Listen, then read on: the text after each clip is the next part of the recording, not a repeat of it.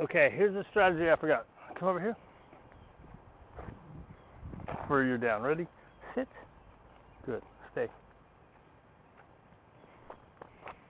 So, here's another negative reinforcement. Oh, sit. Here's another negative reinforcement method, right?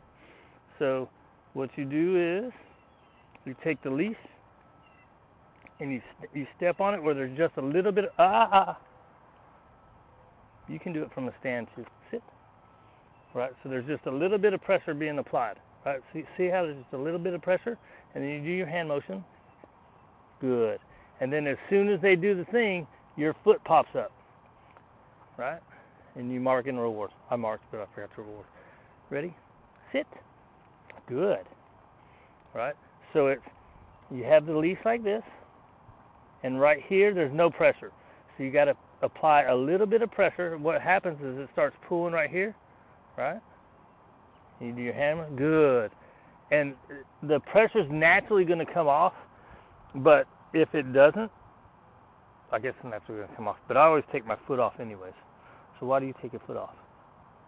Because once they start going down, oh, because you're supposed to pull. Here you go. You're supposed to go. So here's the pressure. And then as they start going down, you, you kind of pull so it stays there until they're complete. Good girl.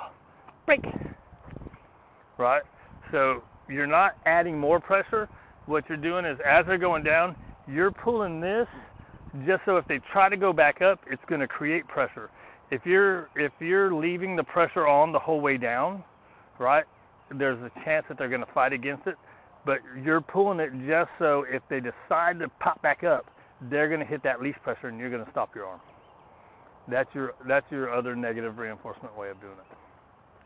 Does that make sense? Quit licking your butt.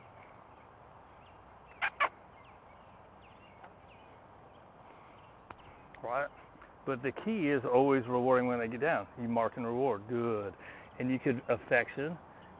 Your affection for a down is always going to be calm, right? One or two little strokes. You're not going to be like, oh, good because that's going to get them excited. All right, let's go play. Kitty, kitty. There's a kitty, kitty over